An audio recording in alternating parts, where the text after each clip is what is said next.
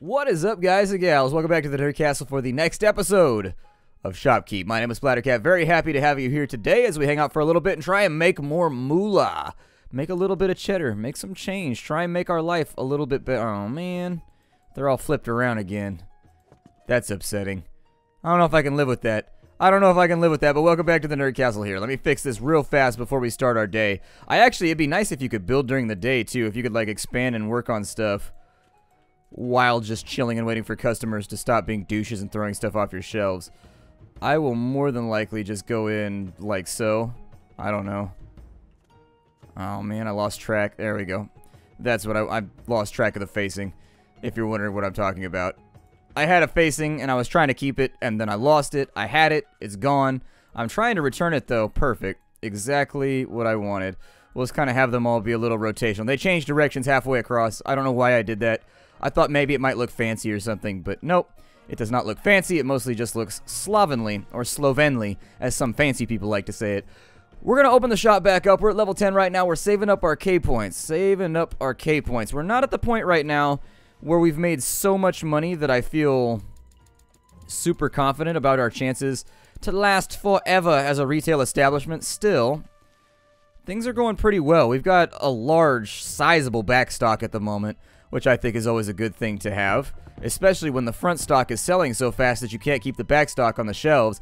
This idea for a game was really, really fantastic. I've heard some other people say that there are other games like this. The only one that I've ever played that was like this was Recettear, which was a JRPG that came out, an indie JRPG that came out back when Steam first started doing Greenlight and stuff like that, and Recettear was really, really cool. I enjoyed that little game. It was a game that I did not expect to be as good as it was. I would like you to go right. I I had the spot, damn it. I had the spot, and now I've lost it. Oh, there was. Got it. See, you can't hide from me. You can't hide from me like that. I got you covered. I'm on that ass, Potion. I'm on that ass. I think we could probably get away with raising our prices a little bit. I don't know if I... The flippage didn't seem quite so bad lately. I'm going to go up to 140 for right now. And now that the 140 has been achieved, let's put in some health potion orders too. We got plenty of stuff to do and plenty of stuff to work on. No customers have come in yet. I do have some repairs to do. Wow, they are destroying this cabinet. I think it's because they have like mass throughput. Like I think it loses a set percentile for every single thing that's taken off the shelf. And it's just because it sells a lot of little things over there. There tend to be a lot of purchases. And so it puts you in a situation where it's getting broken down a lot more frequently than say these right here, which tend to sell big objects. That guy's up to something. I don't trust him. He's doing some. Oh, he was innocent? Shit. I'm sorry, man. I didn't mean to convert you into skeletal mass. I didn't want to make you into a real-life Skeletor. What about you? Yeah, he stole something for sure. See? False positives. Making me all jumpy. I've committed murder like 150 times and nobody questions me on it because I'm so rich that the magistrate just never comes by. He knows he can't beat me in court. I'll hand, I'll hire one of those fancy big city lawyers. He'll come on out and represent my case, and then they never put me in the pen. Can't send me to Susie's house. I won't go. You can't make me. Perfect. This guy that I knew in high school got no-knock rated this morning. Kind of crazy. Like the SWAT team busted down his door and was like, BAM! Got all in there. He got arrested. Apparently, he had a heroin den in his house. Who knew? I don't hang out with the guy. Like, I'm not friends with him. I just know him from high school. I remember his face. It was on Facebook. One of my friends posted about it. And then I followed the police department in my hometown. They posted about it. Apparently, he had like a bajillion guns and a whole bunch of heroin in his house. no idea. No idea. It's always interesting. I always wish that there was a way for you to keep track of, like, just internally, be a fly on the wall for all the shit, like, the people you knew in high school do with their lives. Like little mini novels about how they spent their time. These guys. These guys with their little two-step and Pathfinder. It cracks me up every single time. Every time I look at it, I just want to bust out into a big smile. Sold another sword? Good. Trying to make some money right now. Man, people are looking fly when they leave our store. When they leave our store, they look like they're equipped. They're ready for the road. They're ready to... What did you do? You did something. Hmm. Gonna run him down the old-fashioned way. He stole a potion. It's not... Oh, are they all taken off? Did they rob me? Oh, dude, I think they robbed me while I was chasing down the other guy. And if I, like, chase them halfway across town, I wonder if that's actually in the code. It means that I have to sell two swords now to make up for the two that just got sold. Uh, to make up the profit loss from... Yeah, it's bad. It's not good. It is saddening. Go ahead and keep sweeping up, I guess. Keep on sweeping on. Knocking stuff over and walking out. Can't pick it up. What, your phalanges don't work? Come on, man. Give it a grip. You knock it on the floor, pick it up more. That's the only saying that I have for you right now. I'm not very good at sayings, so I tend to stay away from them. What's going on with that right there? Oh, it was blocking all the other deployment spots. Okay. That's what was wrong with it. I would like more gloves to be on this shelf. But it, it might not be achievable right now. I might have to just walk away and accept that it's outside my capabilities. Anybody buy any boots from over there? Boots are looking good. Everything's looking kind of sexy on this side. So now we play the waiting game until daytime starts, which actually, strangely enough, now that we brought it up, was 10 seconds ago.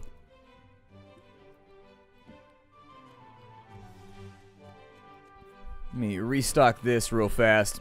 I messed around with the graphical settings. I was noticing it was lagging quite a bit the last little bit. Like, we're starting to get to the point where there's so many customers coming in that it's starting to, like, heat up the engine and whatnot. And so I had to turn off some of the little graphical options. They didn't really change much anyways. I think they made, like, the edge lines a little bit thicker and, like, some other random stuff, but meh. Nothing that I'm actually going to miss that much. It's not like we're playing, like, a top-of-the-line first-person shooter right now.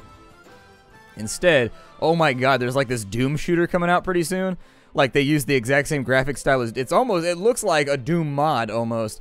But anyways, it looks pretty awesome. I'm really really excited about trying it out. I can't wait until they have a playable alpha. I'm a huge huge huge Doom fan. Always have been, always will be. I consider Doom and Wolfenstein to be the games that set me on the path to be like a PC gamer for the rest of my life. Because we had Wolfenstein on my dad's Pentium 1 at his business. So my dad for his office bought a computer and this was back in the day when like people didn't have computers my dad's always been kind of a techie and so once he was running his business for a while and he was starting to make profits he was like i want to have a computer and so he had a computer to help him with his business and so he didn't like using the typewriter or what yep that's right when i was a kid people had typewriters typewriters were a thing that little tick tick tick tick tick tick tick tick tick tick tick tick tick tick tick thing they would do when they got too far ahead and then when you had to i don't know what it was called there was a little slide thing at the end It'd make like the ching noise. But yeah, that was the sound effect of my childhood. My dad in his office working on the typewriter. Ching ching ching ching ching ching ching ching ching ching ching ching. Zip wing ding. he had a typewriter that had a bunch of fonts and stuff too. Although you had to swap the there was like a, a ball thing inside of it. That you, my dad still has that typewriter. It's still at the house right now. I mean, it's all yellow and old and blackened with age, but still has it. Still has it. My parents don't throw stuff away. They're kind of pack ratty like that. They still got the Pentium 1 over there, too. Got the computer with Windows ME on it. They never get rid I think it's just because they might not know where to get rid of it. It's like illegal in California just to throw shit in dumpsters. If it's got like electrical parts or if it's got like batteries or anything else. Oh my god. Let's get some more swords and shields. Because I think I'm out of those. And maybe some more of those. Place that order real, real quick. Because I think that chaos is coming. And we're making money hand over fist right now. Which is pretty cool. I don't really know what that means. I've never had like a hand over my fist while I made money. I assume that it must be some kind of like ceremonial salute to the other person that you're selling stuff to. Man, you guys are messy as hell. You know that? Y'all are the worst. Trying to keep things on the shelves, and they just will not allow it. They're like, no, I want that shit on the floor. That is what you get. Get down on the floor. On the floor. When they got a pocket down on the floor. On the floor. There we go. Pick up the chess pieces real fast. Not the ones, not the pawns, the rooks, and all those sorts of things, but, you know, the leather armor, the stuff that protects you from death. Now that those have been set up, God, Sometimes clicking these things is really, really weird. Ugh. Grab you. Nobody buying from over here. I wonder if it's got some kind of like internal order. God. Because definitely it's displaying some external disorder right now. But what I'm saying is with the programming, got one minute left. That guy's running out, but I don't know what he has. Or if he has anything at all. It's throwing me off. Trying to make some money right now, though, so I'm going to throw out the swords because I'm trying to get paid, and they're a higher profit margin item than the shields and stuff. This thing needs to be fixed, but only after I put the armor on it. Come on, armor. Go on there. Perfect. Armor rack done. Go ahead and fix this thing on up. I'm sure all the cabinets are going to need to be worked on, too. It seems likely to me. Alright. It's a little busted up. Man. All this stuff is not looking good. Apparently, I underestimated their ability to destroy my carpentry and also marble-related facilities. I love marble counters. Marble counters are a beautiful, they're a beautiful, beautiful thing. Especially since I studied geology in college. I like to look at them. I like to see like the granitic patterns and stuff like that. like, hmm, that's very, very interesting. What did you do? You did something. Oh, never mind. He was innocent. It looks like they deduct the cost of his gear from you when you kill him. Because he had a shield and like a chest piece and some other stuff. That guy probably stole that potion. Not even mad right now, though. Not even mad. Man. So many things on the floor right now. Like my jaw and my wallet. It's dragging on the floor because, oh man, this guy definitely stole some. Gotta get him. It was an expensive item. I can't let him run away with the expensive stuff. It's like a health potion. I'm not gonna chase him halfway over across town over 13 gold.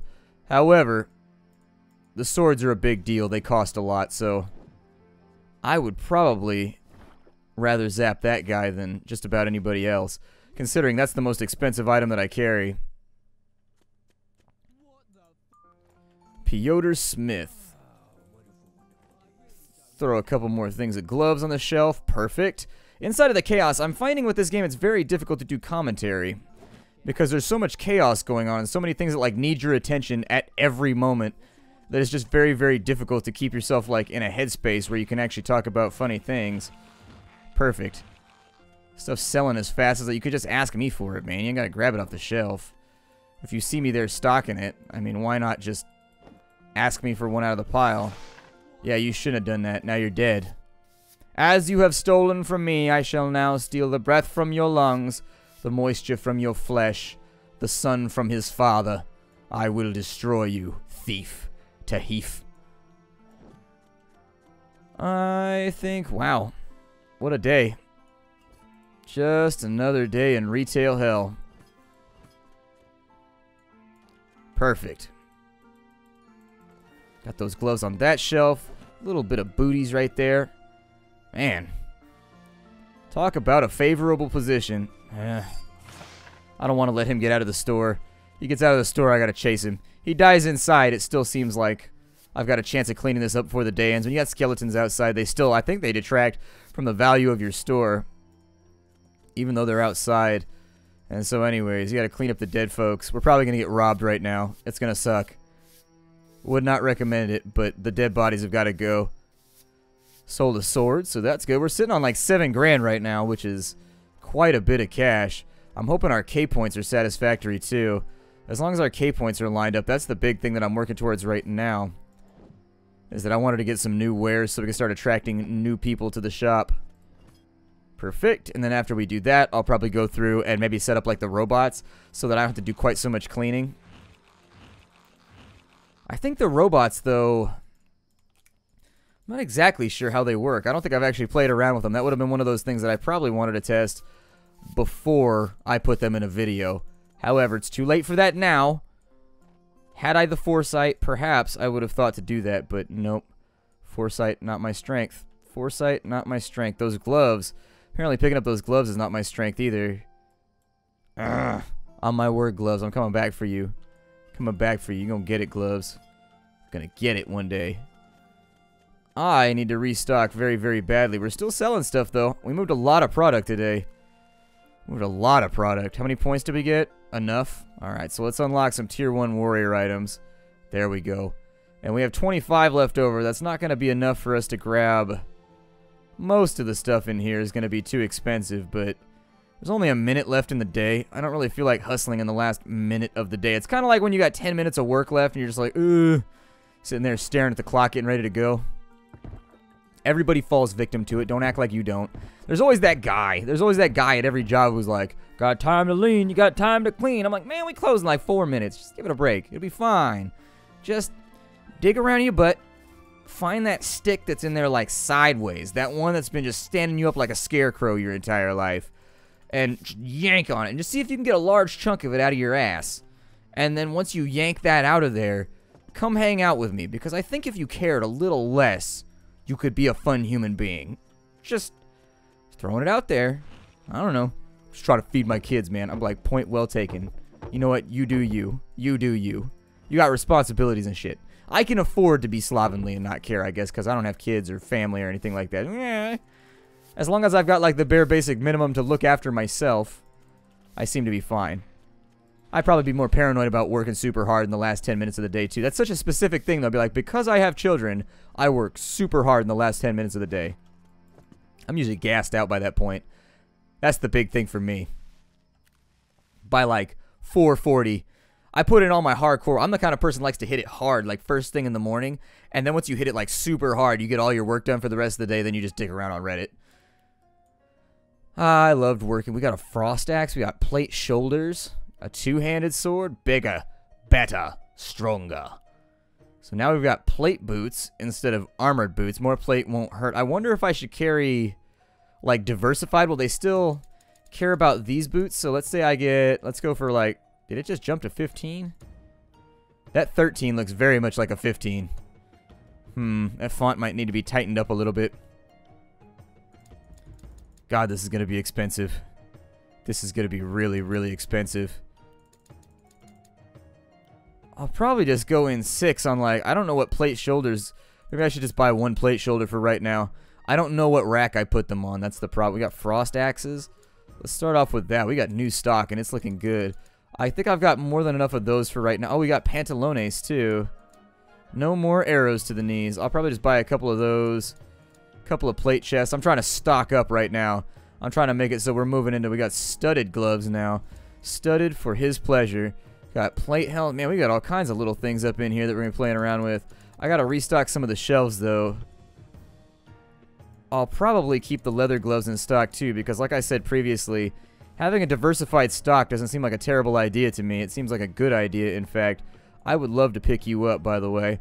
Like, yeah, well, I'm a fancy pair of gloves. I'm not that easy. You think you just come by with a cheap glass of E&J? I'm just going to go home with you like that? You think I'm going to be like that? No, I'm not. These gloves are not easy, my friend. If you want to slide on into me, you got to put in some groundwork. Got to have some pregame. Like, wow. That got really, really gnarly for me just trying to pick up some gloves. I'll probably just keep these in stock for right now. I may actually double down on one of these since it's empty already. Then we'll take the health potions and we'll stock them on this side. And I gotta hit that from the corner. There we go. Probably try to keep you stocked too. I don't know where we're to sit some of this stuff. So anyways, let's get this armor rack going. I need... Actually, I probably should just break that. There we go. And then allow me to get my gloves out. Perfect. And so now I got to replace the cabinet.